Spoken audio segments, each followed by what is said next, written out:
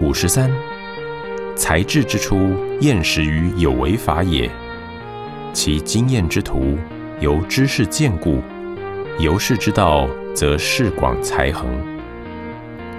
世间上的一切事情，无论是看得到的，或是看不到的，只要是意识所能察觉到的一切，意识能起分别的一切事物，或有形，或无形，都称为有为法。我们一个人的才华和知识、智慧和聪明，都是从一切有为法当中经过实践而总结、提炼、鉴别出来的。